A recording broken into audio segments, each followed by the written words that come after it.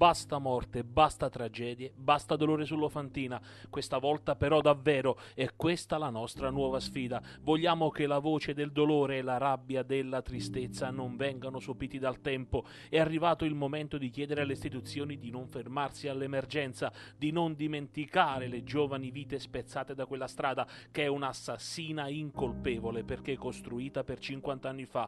Ecco perché questa volta, rispettando il diritto e dovere di cronaca, non ci fermeremo fermeremo ai soliti titoli e andremo avanti. Chiederemo in prefettura quali gli esiti dei tavoli tecnici permanenti del 2013. Chiederemo ai sindaci perché non hanno incalzato i gestori provinciali, regionali e nazionali di quell'arteria. Chiederemo all'ANAS che fine ha fatto quel progetto di allargamento delle corsie di qualche decennio fa. Chiederemo alle forze dell'ordine maggiori controlli, soprattutto sulla velocità. Chiederemo ai cittadini di stare al nostro fianco in questa battaglia. Il tutto per ricordare quelle vite spezzate, quei dolci e giovani sorrisi strappati all'amore di intere famiglie, ma anche per non ripetere la solita ed inutile cronaca di un'ennesima morte, purtroppo spesso annunciata. Ed ecco allora il nostro ennesimo viaggio su quell'arteria. Tutti la chiamano la strada della morte, ma nessuno fa nulla per disarmare quel killer incosciente.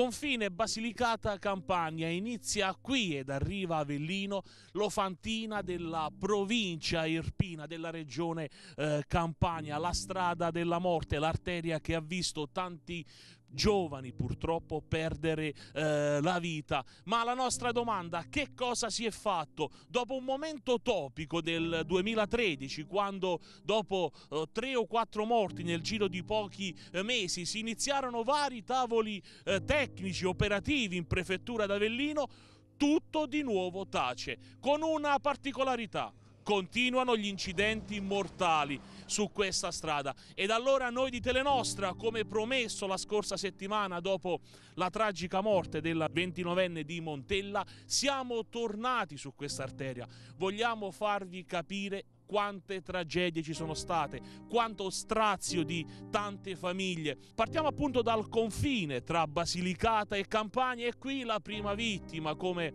ci farà vedere l'operatore Luciano eh, Mangiante, qui purtroppo è, è, morto un signore di Sant'Andrea di Conza, quindi, quindi Alta Erpina, Alta Erpina che è stato eh, schiacciato con la sua macchina da un um, autotreno che trasportava eh, cemento in polvere. Questa è una tragedia di qualche anno fa che riaccese i riflettori su questa strada, però c'è un problema, i riflettori si spengono puntualmente una settimana, 15 giorni dopo le tragedie. E siamo nei pressi di Calitri con il signor Antonio Tuozzolo che mm, gestisce un distributore di eh, carburanti qui sull'Ofantina. Eh, questa è definita spesso e volentieri la strada della morte. Eh, lei eh, che nota su questa strada? Ma, eh, questa strada bisogna migliorarla. Eh, c'era un vecchio progetto negli anni passati che poi eh, non si sa che fine abbia, abbia fatto, insomma, perché c'era un vecchio progetto di 10 miliardi delle vecchie, delle vecchie lire eh, tra l'ANAS di Potenza, ANAS eh, di Napoli, insomma, come competenza, perché la, qua eh, siamo a cavalli di, di regione, quindi le competenze a volte si accavallano. Eh, c'era questo vecchio progetto per l'allargamento perché ce n'è bisogno perché è trafficata molto sia per, uh, dai mezzi pesanti che da, dal traffico leggero, insomma, specialmente d'estate con uh, camioni di pomodori, la Fiat, che, le bisarche che viaggiano e quindi c'è bisogno di un allargamento di questa strada per evitare tante... Eh, tante cose. Insomma, ecco. Quali sono secondo lei i pericoli più importanti su questa strada, più gravi? Ma, eh, bisogna migliorare la, la, viabilità e l'allargamento di questa strada, questo proprio sarebbe indispensabile, specialmente nel tratto tra Calitri eh, e, e, Rocchetta. Insomma. Lei essendo da tempo su, su questa strada è mai stato testimone purtroppo di qualche tragedia? Sì, eh, c'è stato qualche incidente, specialmente quando la strada è viscida. Vito Farese, ex sindaco di Conza della Campania, oggi consigliere comunale a Conza e consigliere eh, provinciale del PD. Ehm, eh, Vito Farese, stiamo tornando ancora una volta a parlare di morte sull'Ofantina. Conza nel 2013 ha visto un, uh, qualcosa di tragico e dir poco, con tre giovani che hanno perso la vita. Noi siamo proprio nel posto in cui due ragazzi, poco più che ventenni, hanno, hanno, perso, hanno perso, la vita. Eh, voi in quei momenti avete gridato eh, con forza e avete fatto sentire la, la vostra voce, ma eh, dopo, dopo quello si è visto poco. Eh, purtroppo sì, è così e questo è un fatto diciamo abbastanza grave eh, perché in effetti questa è una strada che non è stata modificata per niente negli ultimi 50 anni. E se si immagina che 50 anni fa c'era un carico di traffico 10 volte inferiore rispetto a quello attuale evidentemente questa è una strada insomma, che, che, che, non può dare garanzie di, di sicurezza. E io voglio ricordare che qualche anno prima c'era stato un altro incidente a 500 metri da qua insomma, che eh, vide morire Sergio Rosamilia con l'ambulanza tra l'altro. Eh, anche quello perché c'era un ostacolo praticamente lungo le sponde della, della strada, come in questo caso, insomma, ed è rimasto eh, esattamente come era quella, que, quella, terribile notte che, che, trascorremmo qui nella speranza di vedere i ragazzi insomma, poter eh, ritornare a casa e, e, e invece dovemmo constatare insomma, il decesso di, di, di, due di loro e per fortuna gli altri due insomma, si, sono, si sono ripresi.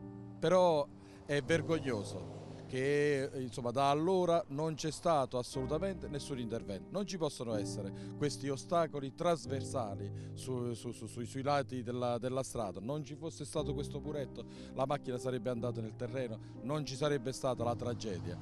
E quindi credo che bisogna intervenire e anche urgentemente insomma, per, per evitare che ci siano altri ragazzi, altre vittime della strada ehm, Vito Farese, noi eh, vogliamo provare a estorcere diciamo, alle istituzioni, alla politica, eh, proveremo anche con l'ANAS que durante questa settimana di servizi eh, sull'Ofantina eh, qualche promessa. Um, che promessa si sente eh, di fare Vito Farese come consigliere provinciale? O meglio, che si potrebbe fare per lanciare un messaggio forte e far capire che in qualsiasi modo bisogna intervenire su questa strada? Ma, mh, mm, evidentemente prenderemo anche noi iniziative proprio partendo dalla provincia e interessando anche il prefetto su questa questione in maniera tale insomma, da sensibilizzare in maniera forte eh, la, la, la, regione e per essa l'ANAS in maniera tale insomma, da, da, da, arrivare a poter dare una sicurezza ai nostri cittadini che,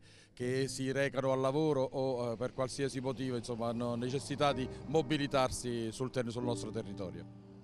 E siamo nel punto in cui si è registrata purtroppo sull'Ofantina una delle tragedie più eh, tristi, più atroci degli ultimi anni. Nella notte di Pasqua del 2013, eh, in questo punto ha perso la vita una giovanissima di Conza della Campania che, eh, come si può vedere dalle immagini, eh, cadde nel fiume con la sua auto e fu ritrovata dopo eh, qualche giorno. Ricordiamo eh, in quei giorni tanta la solidarietà a tutti i cittadini di Conza a cercare la ragazza nel fiume, tanti cittadini e protezioni civili delle zone circostanti, ma poi soltanto eh, il reparto dei sommozzatori dei vigili del fuoco eh, ritrovò il corpo della giovane di Conza della Campania. Eh, come vedete però la particolarità, quello che dicevamo prima, ehm, sul posto non è cambiato assolutamente nulla.